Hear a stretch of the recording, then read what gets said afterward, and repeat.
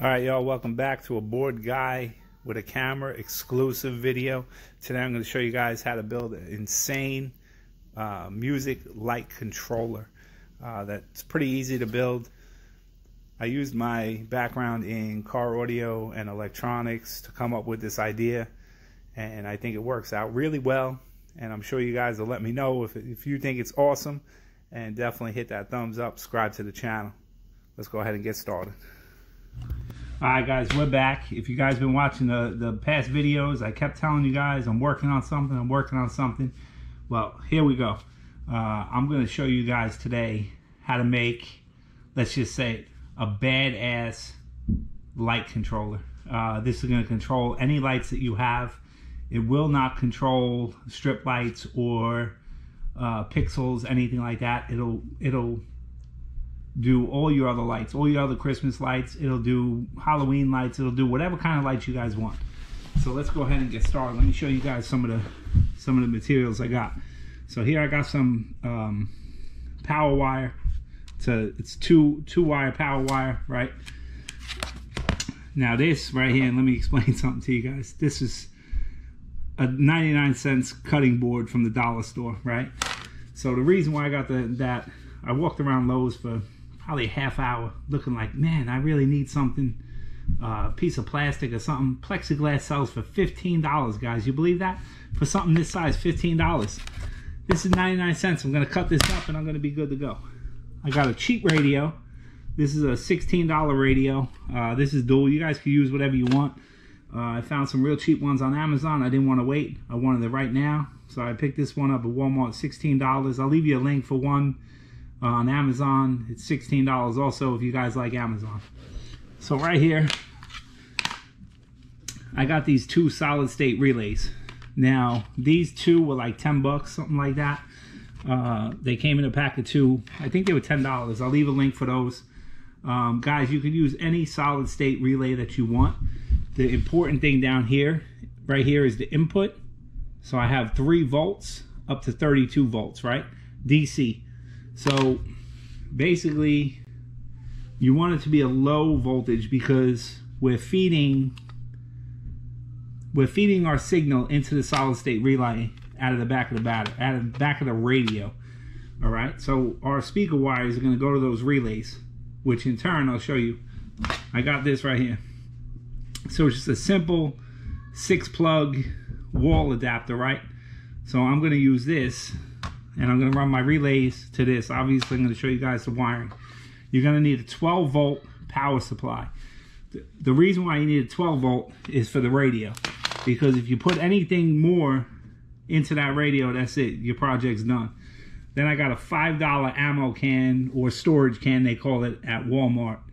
So right now, I don't know, 16, so 20, 30, 40, maybe $45 invested, guys. Um, a lot of stuff I had laying around. So it's not necessarily that I bought it, but I have it on hand. And uh, I'll leave you guys the links for all the items that I needed here. The last thing that we're going to need is just a uh, old extension cord. Um, just cut it, and then I'll show you guys how that wires up. Obviously, I'll give you the diagram, and then we'll go through uh, exactly what this box will do when we're done. So we're going to go ahead and put it together. I'm not going to film putting it together. I'm going to take pictures and I'm going to explain it later on exactly what you guys need to do. Um, guys, if you're not comfortable with electricity, please do not do this project. You will blow something up. There's no ifs, ands, or buts about it. Uh, if you hook up the hot wires in the wrong spot, you'll fry out the radio and you could blow your circuits in your house. So uh, if you guys do attempt this, you know, I take I hold no responsibility. All right, I mean that's all I'm going to say on that. And then uh, I will be building these boxes. Um, now this one I'm showing you guys is a radio control. We're going to use the radio, right? And you just hook up any. You can play the radio, play any song. You could put a SD card in there. You can do whatever you want, guys, to do it. Uh, this box right here in particular is not going to be 100% waterproof, but if I use it, it's going to be on my front porch. uh, under a cover, so I'm not worried about that. I do have plans for another box that works exactly the same without a radio. Um, now that is a little different, guys. I'm not going to be giving you the specs on that or anything like that. I'm actually trying to sell that uh, to one of these main Christmas companies out there or something like that. But I told you guys I've been working real hard, and uh, this is something that you guys be able to build at your own risk, obviously.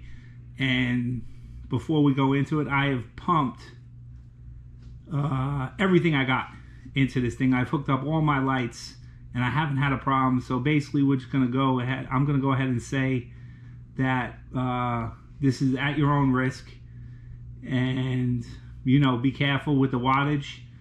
I'm I'm I'm to go out on a limb and say these this will hold 60 watts per channel, probably go up to 80.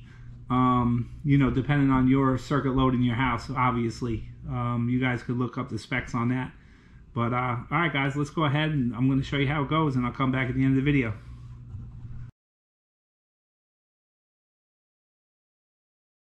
All right, so su super simple. I just cut up my cutting board, uh, spray painted it black, made a hole for my radio, and fits right in the box perfectly. Now what you see right here, I just took my 12 volt power supply. I took my red wire from this power supply and added it to my red and yellow wires on the radio and then I took my negative, which is black, and hooked it up to my negative on the back of the radio. And that's going to supply all the power we need for the radio only. So right here is just a simple test fit. Uh, I just wanted to make sure the radio fit in there and I had clearance for when I put the, the adapter, the plug adapter in the back. Alright, so after I finished the video, I realized I, I missed one step in this process, so I'm going to go ahead and run through it real quick you're going to take your speaker outputs on the back of the radio, positive and negative, and go on to the inputs of the relays, positive and negative, and that's it. Super simple. Box right here, as seen in the picture. So if you're looking at it from the back side, the hot wire is going to be on the right side of the box. It's usually the larger, um, the larger prong on any kind of system. And right here, you guys can see I just soldered my wires on and I ran a jumper wire from the top to the bottom so I can control top and bottom um, without hooking any extra wires up or anything like that. Uh, this seems to work out real well for me and like I said this is just a throw together box that I'm showing you guys how to build it. Now for the second wire on your two wire extension cord that's going to be a neutral wire. That's going to run into number two on the output of the relay just like is seen in this picture. Uh, super simple just run it right run it right over there. And then in the next picture we got coming up, I'm going to show you guys. I just did a jumper wire from the first box to the second box in parallel. And then right here, you're just going to see I took from the opposite side, I took the wires and I ran them to the opposite side of the junction box, I'll call it for now, just the back of the plug, right? So I just ran one from each side of the relays and just then just super simple cut a hole in your box uh, for the size of the outlet box to go inside of your setup here. And then we'll then we'll go right here. As you see it's a perfect fit. I hot glued it all around made sure it was perfectly placed in there. And that's about it. Super simple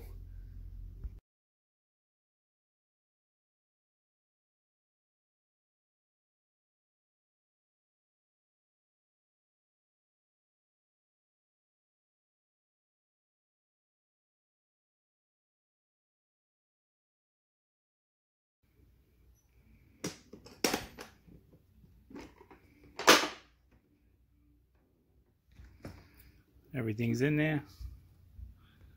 All my wires. Got a little speaker in there. Uh, just so you can hear the music uh, for this video and show you guys that it actually works. But that's it, guys. I just got the two wires coming out of here. I got my power adapter right there. I just hot glued it all up together. And that's it. You could definitely make this box um, waterproof if you chose to. Uh, this is just for the video guys. You know, I'm just giving you an idea that it could definitely be done.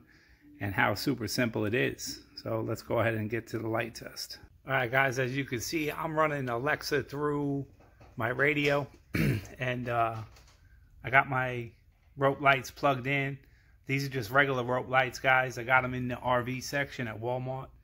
And uh, that's it, guys. We're going to go ahead and test out uh, the sounds. And I think you guys are going to be pretty impressed with this setup right here. So uh, we'll check them out and we'll come back and see what you guys think afterwards.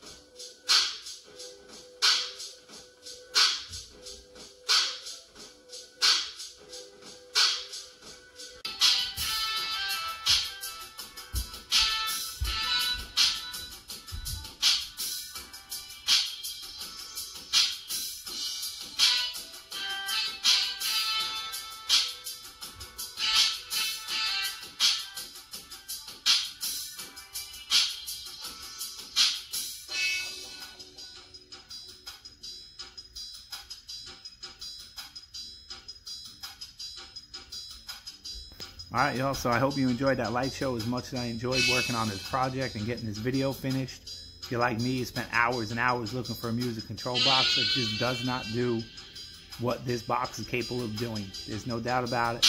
Um, I truly believe that with the right lights, the right setup, this box can hang with some of them people that have seven to ten thousand dollar setups with programming and wires and nodes and all that other stuff, right?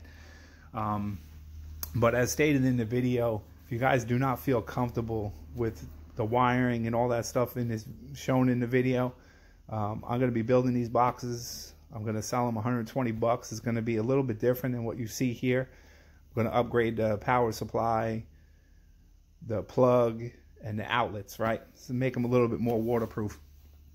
And uh, I'll leave my email in the description. You guys can email me, request a box, and we'll go from there. We'll see what your setup is, and I can make this more powerful. I can make it, you know, more plugs, less plugs, whatever you want.